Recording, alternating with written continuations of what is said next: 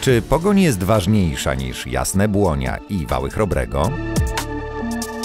Znaczy tak, powiedziałbym trochę przewrotnie, że Pogoń Szczecin, może nie Pogoń Szczecin, ale obiekt sportowy, to ten pierwotny obiekt sportowy, podobnie jak e, Wał Chrobrego czy też inne zabytki kultury, są równie ważne jak e, te pozostałe. Zarówno obiekt sportowy Pogoni Szczecin, jak Wał Chrobrego zostały zbudowane przez Niemców, czyli jest to taki nasz wspólny dorobek kulturowy, polsko-niemiecki. Tu tak naprawdę nie można tego klasyfikować, czy robić rankingu, e, które z tych zabytków jest ważniejsze. Wszystkie są bardzo istotne dla naszego dziedzictwa kulturowego, tak samo jak Wał Chrobrego, podobnie jak obiekt y, y, Pogoni, czy sam stadion, czy w ogóle sam klub sportowy, bo przecież y, Pogoń, podobnie jak sam sport, są elementem kultury, tworzy więzi, takie nasze regionalne tradycje, naszą tożsamość i są równie bardzo ważne, jak nieważniejsze, jak zabytki kultury.